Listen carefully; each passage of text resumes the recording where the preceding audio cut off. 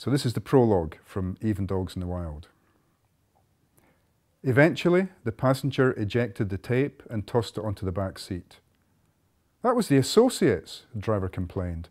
Well, they can go and associate somewhere else. Singer sounds like his balls have been trapped in a vice. The driver thought about this for a moment, then smiled.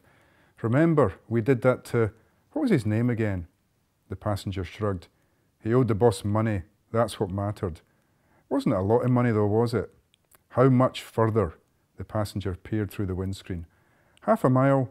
These woods have seen some action, eh? The passenger made no comment.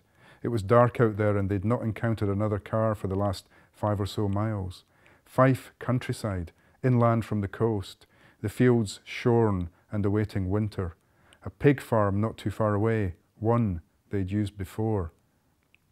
What's the plan then? the driver asked. Just the one shovel, so we toss to see who breaks sweat. Strip off the clothes, burn them later. He's only wearing pants and a vest. No tattoos or rings that I saw, nothing we need to cut off. This is us here. The driver stopped the car, got out, opened a gate. A track led into the forest. Hope we don't get stuck, he said, getting back in. Then, seeing the look on the other man's face, joke, better be. They drove slowly for a few hundred yards. There's a space here where I can turn, the driver said. This'll do then. Recognise it? The passenger shook his head. It's been a while. I think there's one planted somewhere in front of us and another over to the left. Maybe try the other side of the track then. Torch in the glove box. Fresh batteries, like you said. The passenger checked that this was the case. Right then, the two men got out, stood for the best part of a minute, their eyes adjusting to the gloom, ears alert for unusual sounds. I'll pick this spot, the passenger said, taking the torch with him as he headed off. The driver got a cigarette lit, then opened the back door of the Mercedes. It was an old model and the hinges creaked. He lifted the Associates cassette from the seat and slipped it into his jacket pocket where it hit some coins. He'd be needing one of those later for the heads or tails. Slamming the door shut, he moved to the boot and opened it. The body was wrapped in a plain blue bed sheet, or it had been. The trip had loosened the makeshift shroud. Bare feet, pale skinny legs, rib cage visible. The driver rested the shovel against one of the taillights, but it slid to the ground.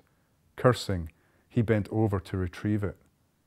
Which was when the corpse burst into life, emerging from sheet and boot both, almost vaulting the driver as its feet hit the ground.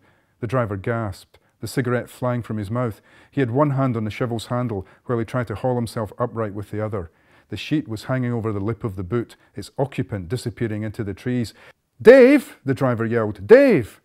Torchlight preceded the man called Dave. How's going on, Paul? he shouted. The driver could only stretch out a shaking hand to point. He's done a runner!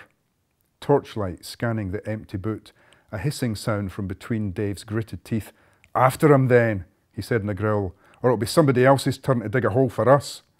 He came back from the dead, Paul said, his voice trembling.